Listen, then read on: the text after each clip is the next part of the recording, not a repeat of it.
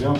저희 Stone Brewing Company는 1996년도 샌디에고에서 이제 설립된 이래로 이제 최고 품질의 맥주만을 고집해서 서비스한다는 핵심 가치, 그러니까 열정과 철학을 가지고 있는 미국 craft 맥주 시장에서 이제 최고의 craft 맥주 브랜드를 Stone Brewing Company라고 칭하는데 전 세계 craft 시장에서 가장 많은 돈을 보유하고 있는 5대 brewery 안에 속하고 있습니다.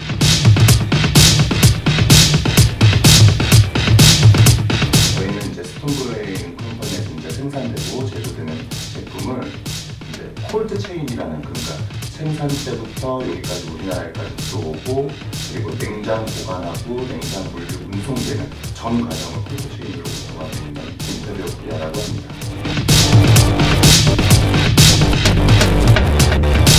플래그십 아이템으로서는 main Stone IPA가 있고요. 그 다음에 이제 IPA를 처음 접하시는 분들한테 이제 서비스 해드리는 session IPA, Go To 있습니다.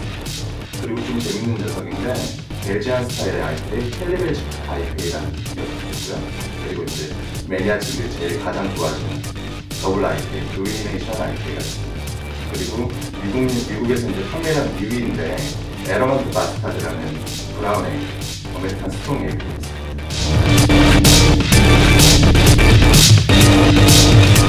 네, 미국에서는 아주 유명한 brewery고 제품이지만 한국에서는 지금 8개월, 9개월 정도밖에 되지 않았어요. 그래서 이번 이제 craft 축제를 통해서 많은 분들한테 그리고 한국의 brewery, Stone Brewing Company에 관련 여러 제품들을 좀 많이 알리고자 하는 게좀 목적입니다.